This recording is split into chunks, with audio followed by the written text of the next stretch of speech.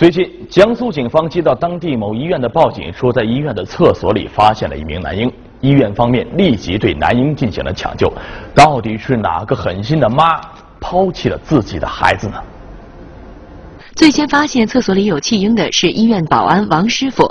当天深夜，他正在医院底楼巡逻。嗯，大约从十一点多钟吧，我带着这一位毛女叫个有有种毛女啊，拉生气啊。还可可能是啊，他小人都不大都交给，又让什么哭，又让不哭。王师傅仔细分辨后，确定这断断续续的声音是婴儿哭声，而且就是从女厕所里传出来的。王师傅喊来女医生后，在女厕所一个侧隔的纸篓里，发现了一名被遗弃的男婴。经医生抢救，被遗弃男婴没有生命危险，属于孕期三十二周左右出生的早产儿，各项生命体征正常，身体非常健康。到底谁会这么狠心抛弃自己的小孩呢？警方立即调阅医院所有监控，追踪该女子踪迹。不久，民警就找到了这名女子。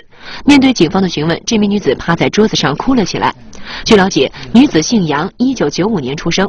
去年十月份，小杨发现自己怀孕，可男友却一直没有表态，春节时还失踪了。四月三十号，由于最近工作太累，小杨觉得肚子有些难受，随后就前往云亭医院。突然想上厕所的他走进了医院底楼女厕所，没想到孩子就这么生了下来。小杨一方面不知道怎么面对家人，一方面觉得自己没有抚养能力，就把孩子丢进了纸篓。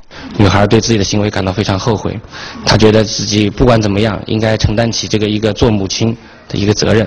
哎，来，不管怎么样，就是想想尽一切办法，